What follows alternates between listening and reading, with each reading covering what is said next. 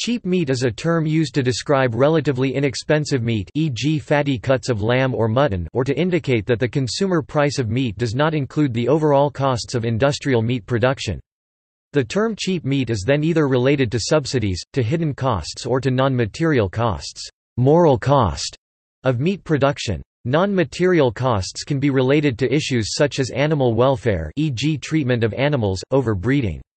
The term is used by critics of the meat industry. The meat industry is subsidized with billions of dollars by governments who support their meat industries.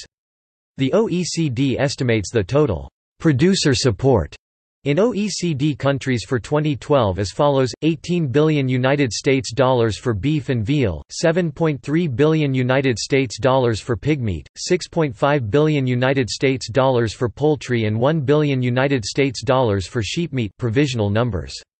Hidden costs of meat production can be related to the environmental impact of meat production and to the effect on human health such as resistant antibiotics.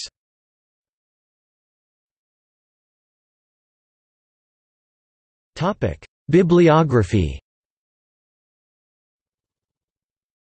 Lymbery, Philip. Farmageddon, The True Cost of Cheap Meat, Bloomsbury Publishing, 2014.